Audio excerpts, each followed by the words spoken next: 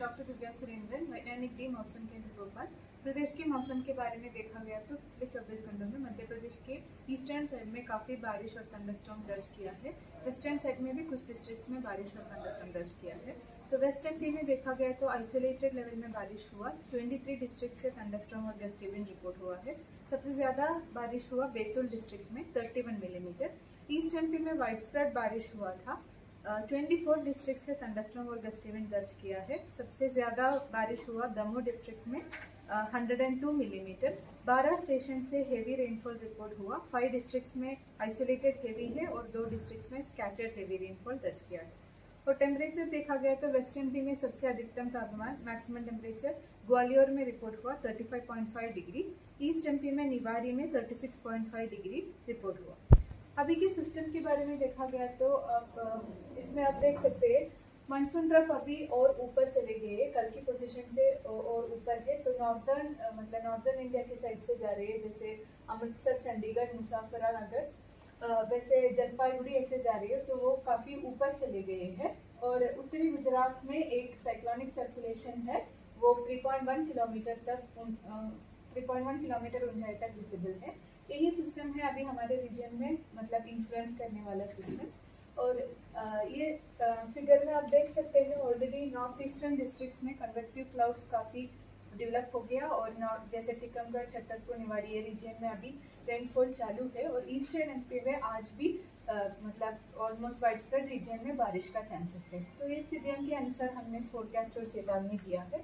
आप यहाँ पे देख सकते हैं, देख सकते हैं नॉर्थ ईस्टर्न के काफ़ी डिस्ट्रिक्ट्स में मेनी टू मोस्ट प्लेसेस में बारिश होने का चांसेस है और वेस्ट एमपी में शिवपुरी अशोकनगर विदिशा ये रीजन में भी मेनी प्लेसेस में बारिश का चांसेस है। आज के लिए हमने heavy rainfall mostly north eastern district जैसे निवाड़ी टिकमगढ़ छतर छतरपुर पन्ना सतना रीवा मैयर सिद्धि और शाडोल ये रीजन में आइसोलेटेड हेवी रेनफॉल का चांसेस है।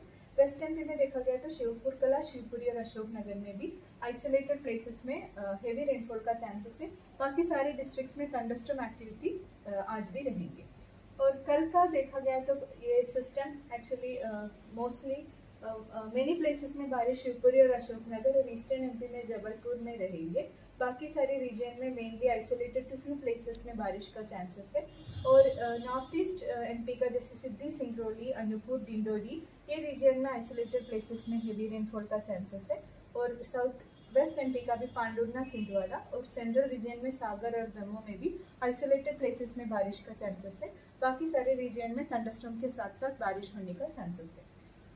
फोर्टीन को ये देखा गया तो रेनफॉल एक्टिविटी और थोड़ा बढ़ रही है, ऐसे मॉडल दिखा रहे हैं मानसून ट्रफ और नीचे आने का चांसेस है स्पेशली नॉर्थ ईस्टर्न स्टेट्स और सेंट्रल टू नॉर्दर्न डिस्ट्रिक्ट्स जैसे शिवपुरी, ग्वालियर अशोकनगर सागर ए रीजन में मेनी टू मोस्ट प्लेसेस में, और ईस्टर्न एमपी का छतरपुर निवाड़ी, टिकमगढ़, दमोह पन्ना कटनी उमरिया, डिंडोरी, ये रीजन में भी मिनी टू मोस्ट प्लेसेस में बारिश होने का चांसेस है।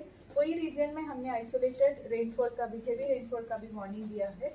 नॉर्थ ईस्ट एमपी का निवाड़ी टिकमगढ़ छतरपुर और दमोह सागर रीजन में और वेस्टर्न एमपी का ग्वालियर शिवपुरी रीजन में भी आइसोलेटेड हेवी रेनफॉल का चांसेस है। और पंद्रह तारीख को भी देखा गया तो ज़्यादातर बारिश का स्प्रेड मोस्टली ईस्टर्न एमपी में दिख रही है, बालाघाट, मंडला, डिंडोरी, उमरिया रीजन में मेनी प्लेसेस में बारिश होने का चांसेस है।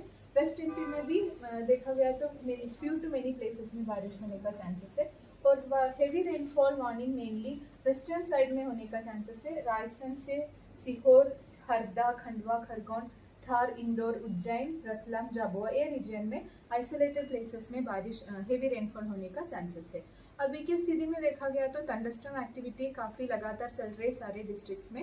क्यूमुलोनिम्बस क्लाउड्स का भी फॉर्मेशन ज़्यादा रह रहे और इसकी वजह से बिजली गिरने का चांसेस आजकल ज़्यादा है। सो उसके लिए जो भी लोग बाहर जाते हैं, बिजली से बच के रहना बहुत ज़रूरी है। धन्यवाद।